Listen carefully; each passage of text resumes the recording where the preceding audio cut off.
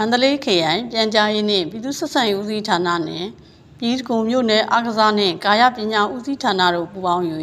လူငယ်ရေးရာအသိပညာပေးဟောပြောပွဲကိုယနေ့နနက်10:00နာရီကအဆိုပါမြို့နယ်ရှိအလာက17ကျောင်းခမ်းမ၌ကျင်းပပြုလုပ်ခဲ့ပါတယ်။အသိပညာပေးဟောပြောပွဲမှာခရိုင်ပြန်ကြားရေးနှင့်ပြည်သူ့ဆက်ဆံရေးဦးစီးဌာနဦးစီးရာရှိဒေါခင်စောလင်ကလူငယ်ရေးရာအသိပညာပေးဟောပြောပွဲကျင်းပရတဲ့ရည်ရွယ်ချက်များနှင့် စာပေဘုဒ္ဓကျွယ်ဝကိုလူတိုင်းစာဖတ်ကြပါစို့ခေါင်းစဉ်ဖြင့်၎င်းမြို့နယ်အားကစားနှင့်ကာယပညာဦးစီးဌာနဦးစီးရာရှိဦးနွယ်အေးချိုကလူငယ်များအားကစားလေ့ကျင့်ခြင်းဖြင့်ရရှိလာမဲ့အကျိုးကျေးဇူးများအကြောင်းအစရှိသည်တို့ကိုအသီးသီးဟောပြောကြပါရယ်ဆက်လက်ပြီးမြို့နယ်အားကစားနှင့်ကာယပညာဦးစီးဌာနဦးစီးရာရှိကကျောင်းသားကျောင်းသူများအတွက်ပိုက်ကျော်ခြင်းချင်းလုံးနှင့်ဗော်လီဘောအစရှိသည့်အားကစားပစ္စည်းများပေးအပ်လှူဒန်းရာ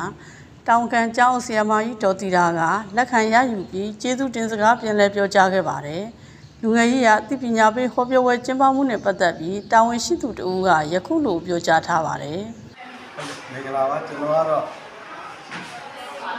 အာရဘာနဲ့လူငယ်ရေးဝန်ကြီးဌာနအာရဘာနဲ့ကာပညာဝန်ကြီးဌာနဒီလိုမျိုးလေမျိုးနဲ့အာရဘာမှုဥပဒေကိုဖြစ်ပါတယ်ကျွန်တော်တို့အနေနဲ့အာရဘာနဲ့ကာပညာဝန်ကြီးဌာနနဲ့ပြန်ကြားရေးနဲ့ပြည်သူ့ဆက်ဆံရေးဝန်ကြီးဌာနတို့ပူးပေါင်းပြီးတော့မှလာစဉ် ကျွန်တော်တို့ဒီလူငယ်နဲ့အာရဘာအသိပညာပေးဟောပြောပွဲတွေเนาะပြုလုပ်ရတဲ့အတွက်เนาะလူငယ်တွေအနေနဲ့အာရဘာကိုစိတ်ပါဝင်စားပြီးတော့မှအာရဘာ